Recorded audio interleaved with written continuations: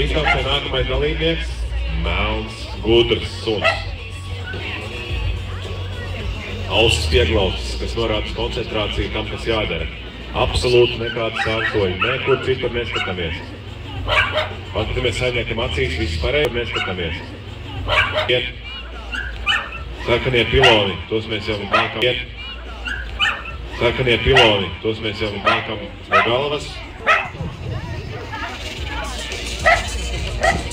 Lieliski. Gan saimniece, gan, gan saimniece, gan suns lieliski griežās.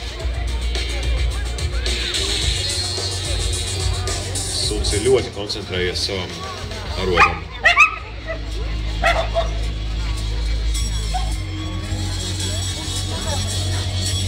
Jā, es patiešām biju pirms brīža nodegustēt Rīgas pārtiks ražotāju vidusskolas gatavotos ēdienus. Tiešām labi, iesaku visiem, kas ir eh, nedaudz izsalkuši. Ļoti kvalitīvi pagatavots. Tiešām paēdi. Savukārt tie, kas grib kafiju, protams, doties iekšā. Un es te apstaigāju teritoriju, pēkšņi atradu, ka ir viens burvīgs uh, vingrinājums, kuru varbūt daudz vēl nav izmēģinājuši, bet ko noteikti vajadzētu, tas ir mest pa bunčām. Tur ap stūri var mest pa bunčām.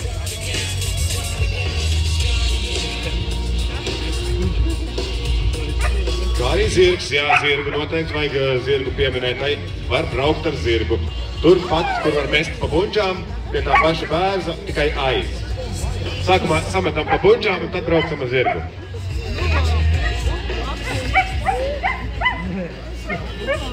Nu, tas ir interesantākais etaps šodien - gulēšana. Jā. Ha, mākam gulēt, lieliski. Un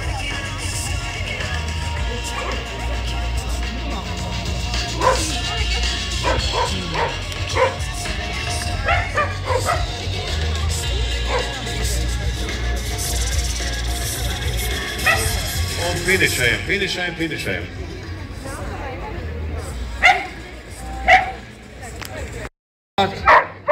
Dakīs. Aplausus taču, nu! Godpilnā otrā vieta dalībniekam ar 16. numuru Čims. Čims. Jā, Čims.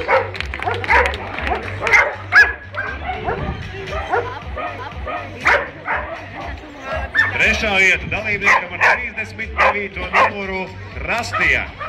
Rastija.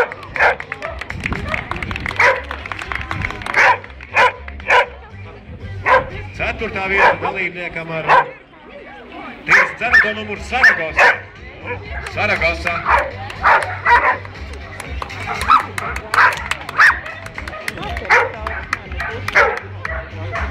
Piektā vietā dalībniekam ar 22. numuru Deizijā. Aplausus, no taču kas ir cilvēki? Kas jums rokas? Rokas, vai? Aplausus, no taču. Pat suņi uz... Pat suņi uzziet. Un visbeidzot sastā vieta dalībniekam ar 24. numuru Beta.